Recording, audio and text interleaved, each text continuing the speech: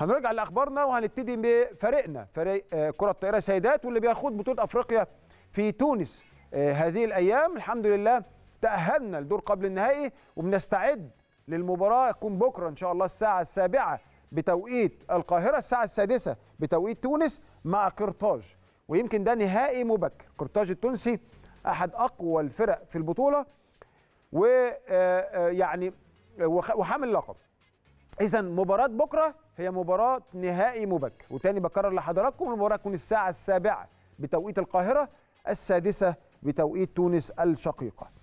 آه، الفريق ماشي بشكل كويس يعني قدرنا نتصدر مجموعتنا واللي كان معانا فيها الأنابيب الكيني أحد الفرق المرشحة للبطولة وفزنا عليه 3-1 وبعد كده أسك الايفواري وبعد كده قررنا النتيجة على فريق الأولمبي القليبلي التونسي في ربع النهائي. إن شاء الله بإذن الله بكرة قبل النهائي يا رب نبارك لبعض أيضا. يكون دي قبل دي إن شاء الله تبقى ليلة أفريقية إن شاء الله خالصة. من تونس للمغرب الدنيا مش بعيدة. يمكن ساعة طيران أو أقل.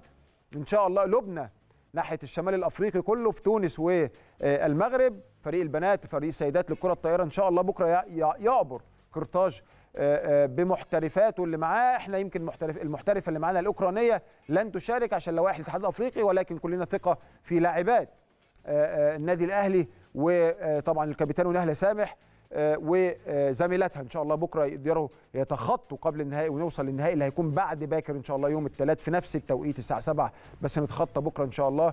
وبإذن الله نبارك التصعود للنهائي وبإذن الله نبارك بالليل الفوز للنادي الأهلي. بإذن الله على نادي الوداد وأن يتوج كبطلا لأفريقيا بإذن الرحمن.